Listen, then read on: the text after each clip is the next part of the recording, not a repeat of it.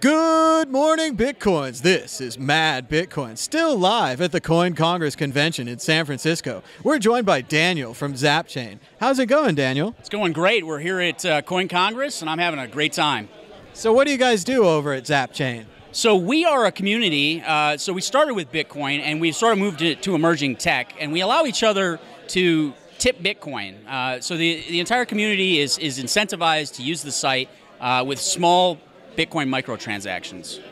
And mainly people use it to ask questions? So we started as a Q&A site, that's true, and we've sort of expanded recently into content. Actually, if, if, if any of you out there have used ZapChain in the past, you should check it out now because we just launched a new uh, UI, so it's very content focused. What we're doing now is we have a program where we pay people small amounts of Bitcoin to contribute content. It's sort of a beta thing, but um, we're, we're working with really interesting content creators uh, so that they can get paid small amounts of Bitcoin. That sounds very cool. How's it going so far? Do you have a lot of people signing up? Yeah, I think in the past month and a half, we've had about 200 articles that have been published, and we've got some really great content creators. Well, what we're really doing is we're working really closely with these content creators um, so that, uh, you know, I've I've created a lot of content in the past with, with Coindesk and some other things that I've done. So I'm sort of mentoring some of these people on how to make great headlines, how to write really killer copy, how to use images, and all this fun stuff. And so we'd love to invite more people to the platform and, and, and get them using it. So, as an alternative to some of the other Bitcoin news websites that we really don't know anything about, people could go write for ZapChain and actually get paid for their articles? Yeah, it's actually an automated system that we've built. Our CTO, Adam McKenna, he's uh, the founder of Multipool, and he's built a system so that every page view, um, our writers get 20 bits. So that's actually 550 CPM. So if you know anything about advertising, uh, that means basically every 1,000 impressions that an article gets is about 550. Um, so that's 20, 20 bits per page view. Uh, we're, what we're trying to do is we're trying to disrupt the advertising model as it exists today with, with Bitcoin.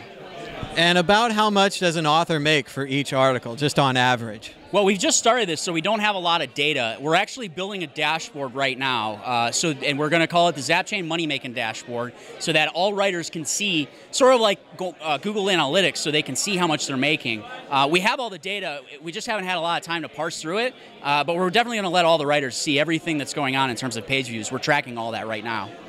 That sounds great. I think transparency is very important when you're dealing with anyone that's working for you, and especially writers these days. I totally agree. I, like I said, I've been a content creator professionally since 2008. Uh, I started a tech site in 2009 that I ran for a while, and I think that just advertising on the internet is not enough for content creators.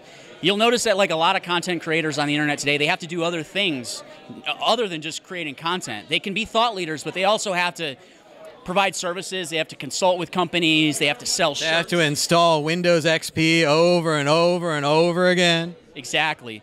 So.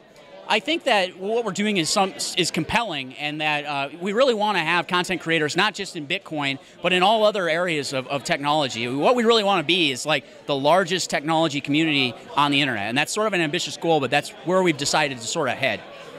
And where can people learn more about ZapChain? Uh, just go to zapchain.com uh, and and uh, log in and and check it out. Very cool, Daniel. Thanks for being on the show. Thank you.